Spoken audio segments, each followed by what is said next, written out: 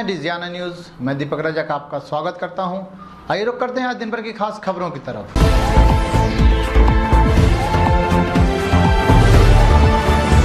जो रंगमंच से जुड़ता है, वो इंसान बन जाता है। ऐसा कहना है, भोपाल से आए संजय जी का। अपने अल्प प्रवास पर आए संजय जी ने बताया कि किस तरह से ज़िंदगी को जिया जाए। उसको जानने के लिए रंगमंच से जुड़ना ज़रूरी है। विनर सोसाइटी के द्वारा आयोजित रंगमंच पर एक टॉक शो के बारे में उपाध्याय जी ने अपने अनुभव साझा किए। आइए आपको दिखाते हैं कुछ झलकियाँ।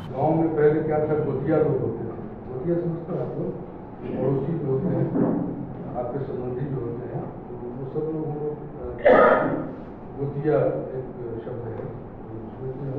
एक ही। कला साहित्य संबंधी जितने भी लोग हैं, सब एक गोत्र के लोग हैं। एक गोत्रीय लोग, चाहे वो कवि हो, चाहे वो नाटककार हो, चाहे वो उपन्यासकार हो, चाहे वो नर्तक हो, चाहे वो गायक हो, वादक हो, और अभिनेता हो डिज़ाइनर हो पेंटर हो, हम सब लोग एक गोत्रीय लोग हैं। रंगमंच इन सबों का निचोड़ है। रंगमंच एक समुच्चय कला है।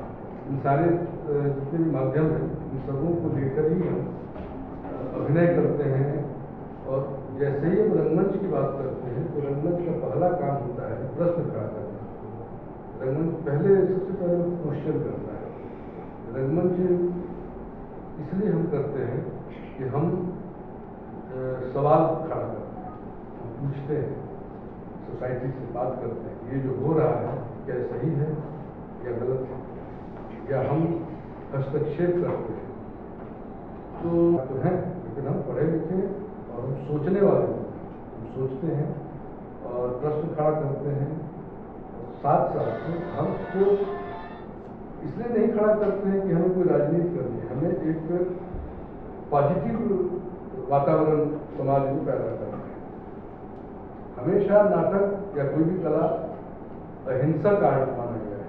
हिंसक नहीं हो सकता कविता करने वाला आदमी, कविता पढ़ने वाला आदमी हिंसा नहीं कर सकता। कहानी पढ़ने वाला आदमी, नाटक करने वाला या जो गवैया है, वो राम मंदिर बाबरी मस्जिद के चक्कर में नहीं रहता है कब गिराया जाए, क्या बने, क्या नहीं, उससे क्या मतलब? उसको तो एक ऐसा माहौल पैदा करना है, जिससे कि सब लोग चैन से, अमन से, शांति से रहे तो शांति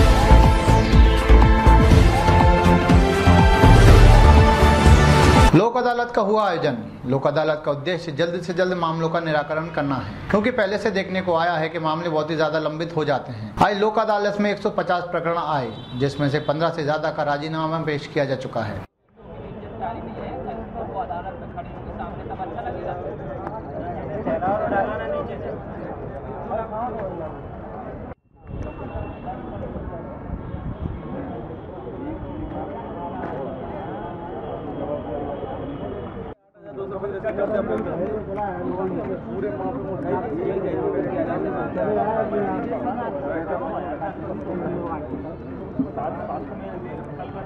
नहीं लगाई।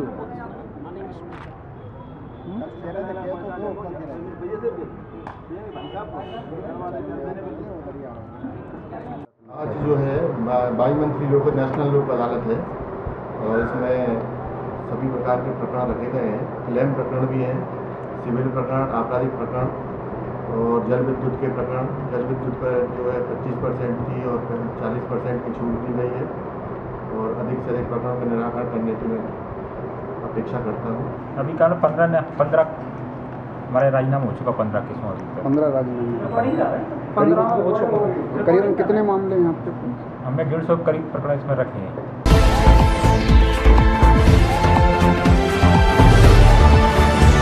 महामहिम के आने से पहले हटाई जा रही दुकानें और तोड़े जा रहे चबूतरे। शहर में हर तरफ़ अस्थायी अतिक्रमण देखने को मिल जाएगा। महामहिम के आने पर ही यह अतिक्रमण केवल उन जगहों से हटाया जा रहा है, जहाँ से महामहिम राष्ट्रपति गुजरेंगे। आज अतिक्रमण एरोड्रम से लेकर हनुमान कॉलोनी तक साफ़ किया गया, जिसमें रोड के दोनों तरफ़ मौजूद अस्थायी दुकानें एवं चबूतरे तोड़े गए। हालाँकि नगर पालिका ने यहाँ सामान हटाने के लिए नोटिस पहले ही दे दिया था, लेकिन जिन लोगों ने नहीं हटाया, उनके लिए आज अतिक्रमण विरोधी कार्रवाई की गई।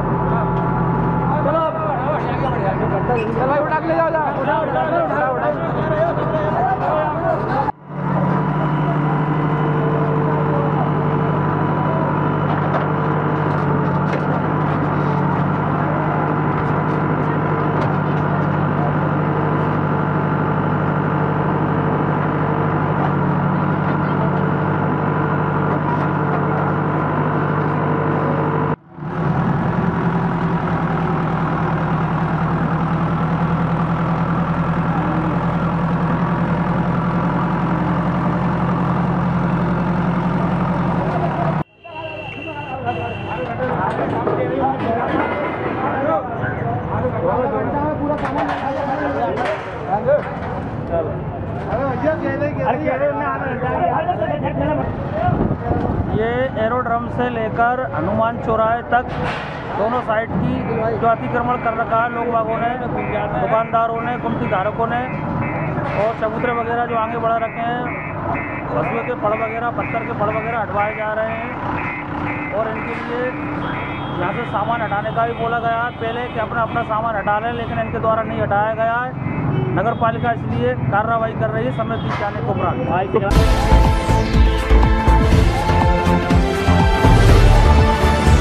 उमेश रघुवंशी की पिटाई का मामला थमने का नाम नहीं ले रहा। इस मामले में आज रघुवंशी समाज के साथ राधोगढ़ विधायक जयवर्धन सिंह भी आज पुलिस अधीक्षक से मिले। उन्होंने इस बात की निंदा भी की, इस तरह से थाने में किसी के साथ मारपीट नहीं करनी चाहिए। वहीं रघुवंशी समाज का प्रतिनिधि मंडल भी आज पुलिस अधीक्षक से मिला। वहीं रघुवंशी समाज का प्रतिनिधि मंडल आज पुलिस अधीक्षक से मिला और उन्हें अवगत कराया की जो समय अवधि उन्होंने मांगी थी, उसमें कायमी क्यूँ नहीं की गई जिस पर पुलिस अधीक्षक ने सबको आश्वासन दिलाया की वह अपनी बात पर कायम है। और जल्द से जल्द इस मामले में ठोस कार्रवाई की जाएगी। रघुवंशी समाज के प्रतिनिधि मंडल ने पुलिस अधीक्षक से कहा कि यदि ठोस कार्रवाई नहीं की जाती तो समाज उग्र आंदोलन के लिए बाधित होगा। वहीं उमेश रघुवंशी को न्याय दिलाने के लिए कैंडल मार्च भी निकाला जाएगा। बता दें कि जिस दिन से उमेश रघुवंशी के साथ मारपीट की गई है, उसे तब से आज तक होश नहीं आया और वह बेहोशी की हालत में ही है। वहीं इस मामले में सोशल मीडिया पर भी कई तरह की दलीलें देखने को मिल जाती हैं। जिसमें एक तबका उसे हत्यारा घोषित कर रहा है, वहीं एक तबका उसे आदतन अपराधी भी बता रहा है। जबकि उसके खिलाफ जितने भी मामले लंबित हैं, उसमें कहीं भी हत्या का मामला दिखाई नहीं देता। इसके साथ ही, जिस आठ लाख की लूट के मामले में उसे संदिग्ध मानकर गिरफ़्तार किया गया था, उस मामले में भी उमेश रघुवंशी का नाम पुलिस रिकॉर्ड में कहीं दर्ज नहीं है।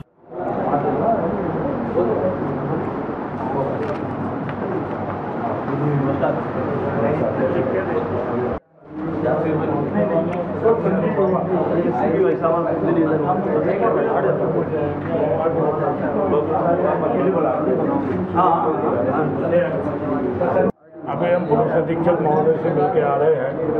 पुलिस अधीक्षक महोदय ने आज तक की हमको समय सीमा दी थी मैं इसकी मारपीट संबंधी प्रकरण में आज भी उन्होंने ये आश्वासन दिया है कि मैंने जो समय दिया है, उस पर मैं कायम हूँ और आप भी मेरे दिए हुए वचन पर भरोसा रखें। इसका मतलब साफ़ है कि आज वो कुछ ना कुछ हमारे प्रकरण में पंजीबद्ध करेंगे और हमारी एफआईआर हमको सुपुर्द करेंगे। इसके बाद भी मैं आपको पत्रकारों के माध्यम से पूरे पुलिस प्रशासन, सामान्य प्रशासन और सरकार में बैठे हुए नुमाइंदों को ये आगाह कर देता हूँ कि यदि हमारी एफआईआर उमेश की मारपीट के संबंध में नहीं हुई तो अब हम मानवाधिकार आयोग में भी जाएँगे और कल कैंडल मार्च करके समस्त जनता का ध्यान आकर्षित भी करेंगे, जिसमें हम सभी समाजों को भी बुला रहे हैं। सभी समाज के जन जागृति अभियान कल हनुमान चौराहे से लेके जयस्तंभ चौराहे तक हम करने वाले हैं, कैंडल मार्च। उसके बाद हम सीएम का भी घेराव करेंगे। बाद में उनतीस तारीख को महामहिम राष्ट्रपति महोदय को समक्ष भी इस प्रकरण को ध्यान में लाएँगे, हमें कोई नहीं रोक पाएगा।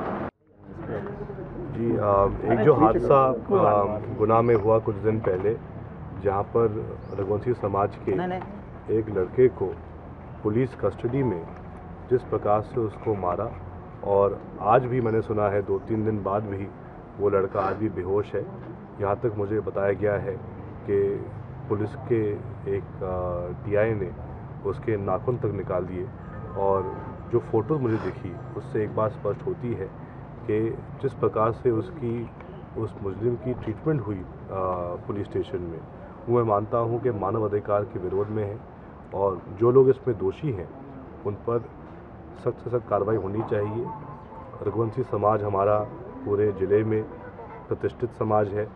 हमेशा जहाँ भी हम देखें, कोई भी फ़ील्ड में हो, अच्छे पदों पर है और सभी लोग उनका सम्मान करते हैं। और सभी की एक ही मांग है इसमें कि अगर कोई भी व्यक्ति गलती करता है सज़ा मिलती है तो सज़ा दो। हम ये कभी नहीं करेंगे सज़ा मत दो। आ, कानून के अनुसार उसको पूरी सज़ा मिलनी चाहिए। लेकिन जिस प्रकार से पुलिस ने और एक टीआई ने आ, उस आ, लड़के के साथ मारपीट की और आज भी वो लड़का बेहोश है तो उन पुलिस वालों पर कार्रवाई होनी चाहिए। हमने मांग की उन पर एफआईआर होनी चाहिए है और मुझे पूरा विश्वास है कि एसपी साहब हमारी मांगों को पूरा करेंगे।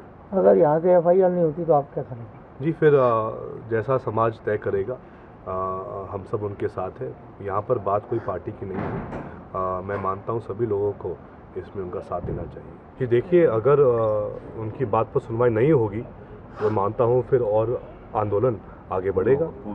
क्योंकि जहाँ तक मुझे बताया गया है कि शायद आश्वासन दिया गया है पुलिस प्रशासन से कि जो समाज की मांगे हैं वो पूरी की जाएँगी।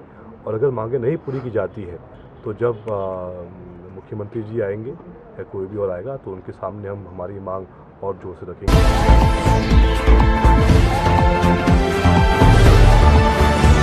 आम आदमी पार्टी की पोहा चौपालों का जगह जगह हो रहा आयोजन। इन चौपालों के माध्यम से आम आदमी पार्टी आगामी चुनावों को लेकर मुखपत्र तैयार कर रही है। इसके साथ ही पार्टी में सदस्यता बयान भी चलाया जा रहा है। आज इसी के सिलसिले में एक बैठक का आयोजन भी किया गया। वहीं आम आदमी पार्टी इस बार भी सभी विधानसभा क्षेत्रों से अपने प्रतिनिधि उतारने वाली है। एक आपका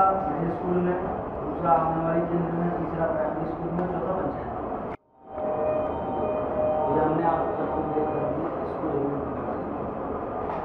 ना इससे आपका काम आसान और इसी के हिसाब से अपना पूरा यात्रा का पड़ेगी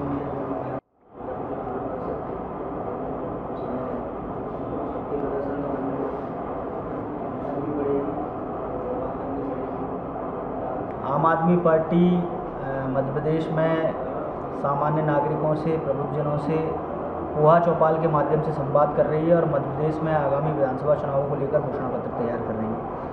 उसी क्रम में आज हमने गुनाह में भी पोहा चौपाल रखी है। और साथ ही हम संगठनात्मक दृष्टि से मंडल अध्यक्षों की नियुक्तियों को लेकर इस समय यात्रा और बैठकें कर रहे हैं।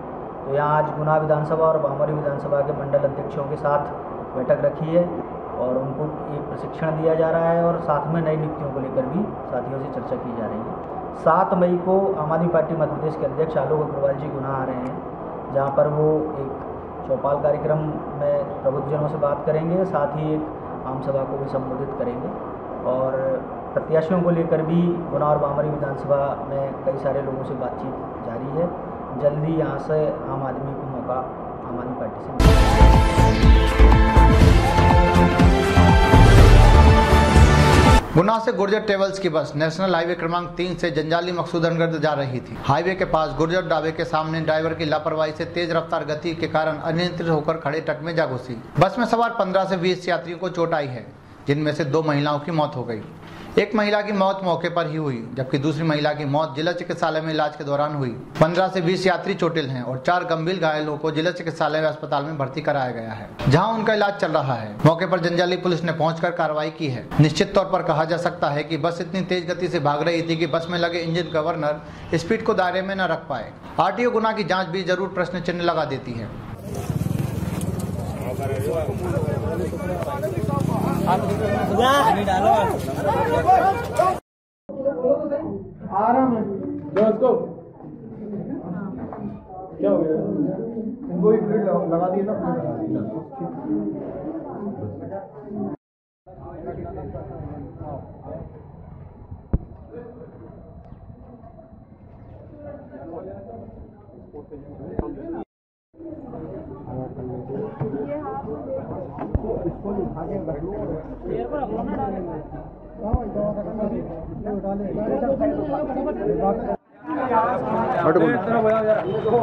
मदद नहीं करेगा ये भी। तमाशा देखो ये भी खड़े हो। जाएँगे अरे ओए। कमर पे हाथ लगा दे। पैसे लगा कमर पे। आगे यहाँ खड़े हो रहा है। रास्ता में पड़ जा दिक्कत नहीं है नहीं है। पीछा करो यार भीड़ तो पीछा करो जरा। हटो पीछे। साइड दो साइड दो दूसरी गाड़ी आगे जाओ बस वाले की गलती है।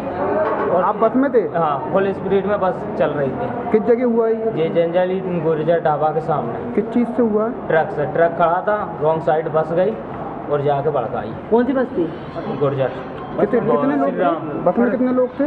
बस पूरी पैक भर रही थी तो उसमें कितने लोग छोटे आए गंभीर कम से कम पंद्रह बीस जने को ज़्यादा आई। चलो चलो। और कोई लोग खत्म हाँ एक लेडीज़ खत्म हो गई स्पॉट पे। और दो की भी कोई उम्मीद नहीं है।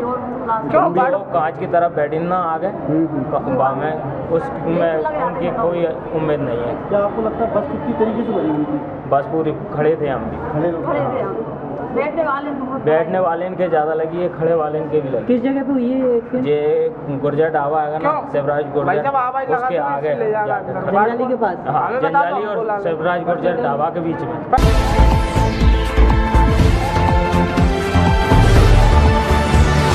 नगर में ब्राह्मण समाज के तत्वाधान में परशुराम जयंती धूमधाम से मनाई गई। इस दौरान शहर में विभिन्न आयोजन हुए।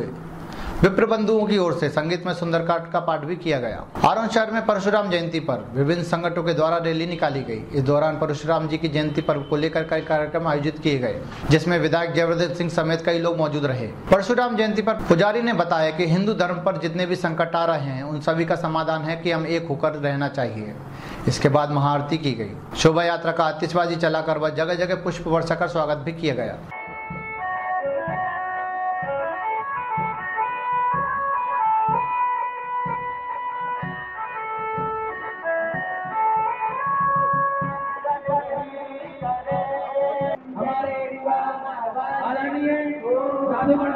क्षेत्र से लाडले विधायक श्री जयवर्धन सिंह की उपस्थित और भगवान गुरु की आरती और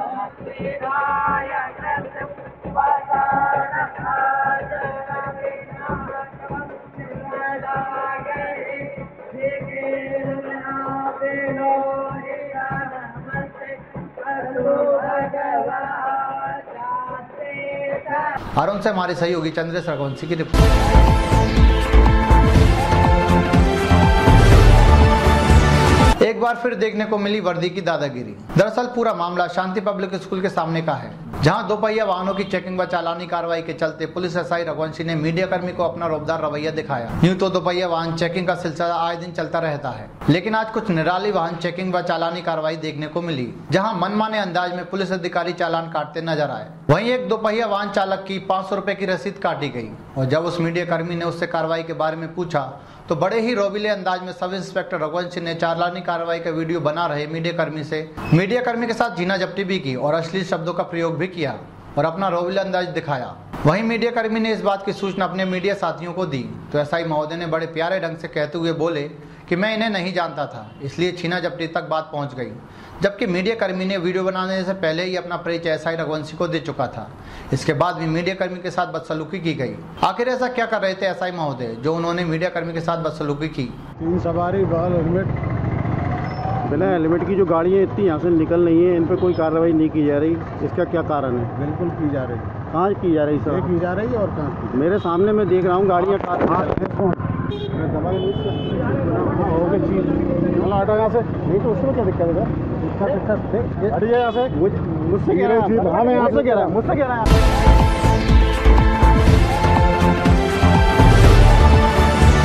डीजियाना न्यूज़ में आज बस इतना ही। नई खबरों के साथ हम फिर हाजिर होंगे। तब तक के लिए नमस्कार।